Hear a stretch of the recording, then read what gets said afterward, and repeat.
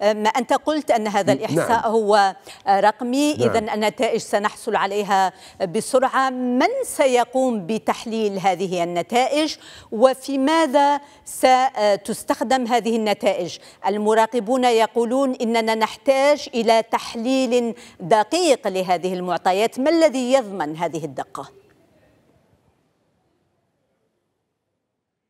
هذه الدقة تضمنها يضمنها تاريخنا تاريخ المندوبية السامية للتخطيط. وما وما تصدر باستمرار من معطيات كانت دائما هي الحقيقة ولو كانت مخالفة لما لما هو مشاع أو يقال من طرف مسؤولين حكوميين أو غيرهم.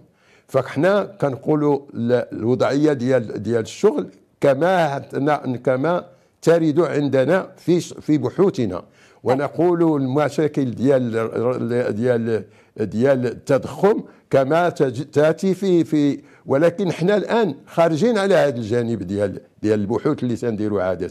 الآن عندنا باغيين واحد الصورة مكتملة لما لما لما هو عليه الآن لما هي عليه الآن مجتمع ما هو عليه الآن مجتمعنا.